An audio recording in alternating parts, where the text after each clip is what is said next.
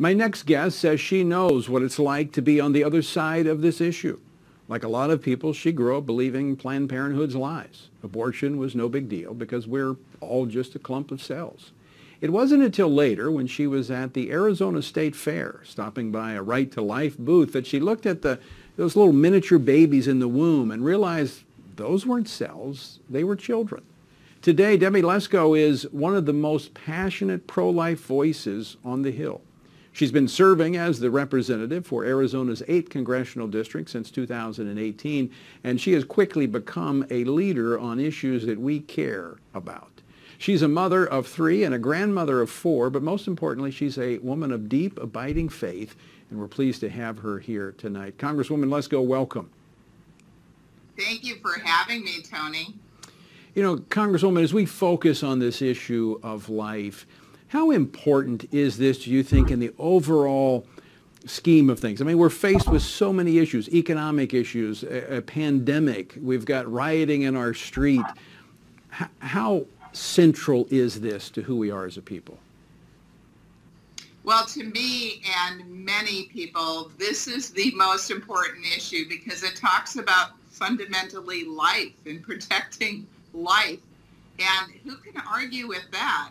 Unfortunately, my Democratic colleagues, for whatever reason, are voting uh, for legislation that would promote abortions.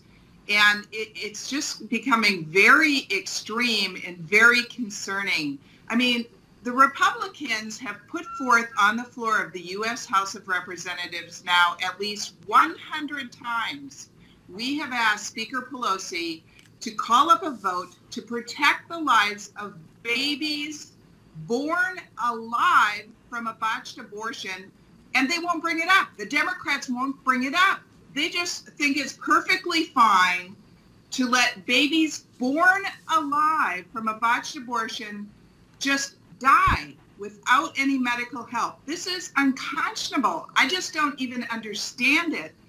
And many of my Democratic colleagues uh, join me in Bible studies. Uh, you know, it blows my mind. I do not understand it. Why they would not protect innocent baby lives. It's beyond me. You know, Congresswoman, I, I, know you've just been here in Washington two years, but you're not new to the fight for the sanctity of human life. Uh, serving in Arizona, uh, you carried the same banner.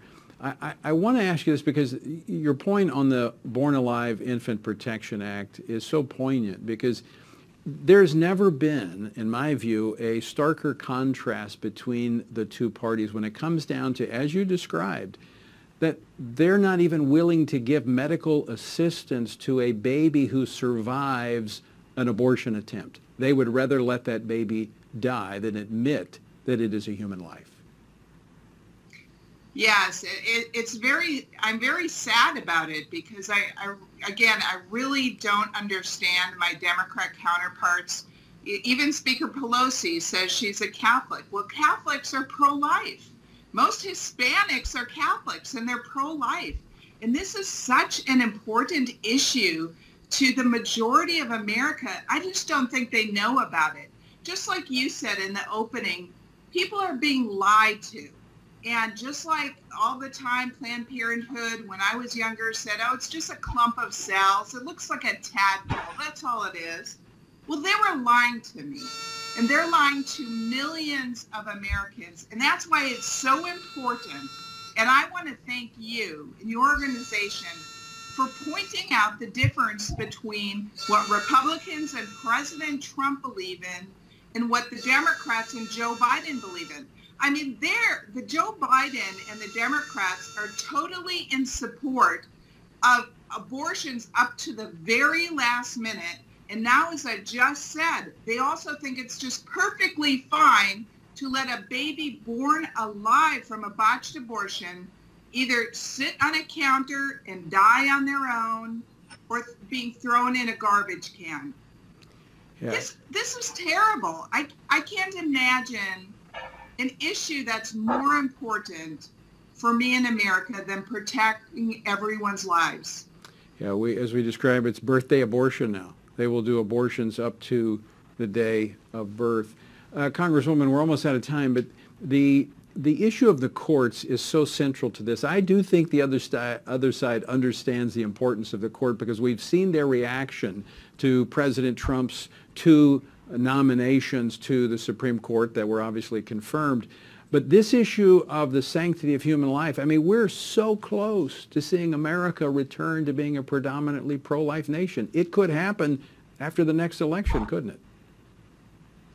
You are totally right, Tony. We need to reelect President Trump because he he will nominate pro-life, conservative, constitutional judges for the Supreme Court. And you've already heard from the left. If Joe Biden is elected and if they get the House and the Democrats get the Senate, they're going to ram through all kinds of radical pro-abortion, anti-life legislation. They also said they want to increase the number of judges on the on the Supreme Court so they can stack it in their favor. They also want to make D.C., Washington, D.C., a state so they can automatically get two more Democrat senators to stack the deck. This election is the most important election in my entire lifetime. It really is about the future of our nation, the future of life, the future of traditional family values, of law and order. I, I can't tell you how greatly, oh, I'm just in angst because we need to win. Pro-life, pro-freedom, pro-religious freedom needs to win for the sake of our country. And that is not an exaggeration at all. I am uh, 100% in agreement with you. Congresswoman Debbie Lesko, thank you so much for joining us this evening. Thank you. And I appreciate your leadership. Continue leading for the sanctity of life on Capitol Hill. I will.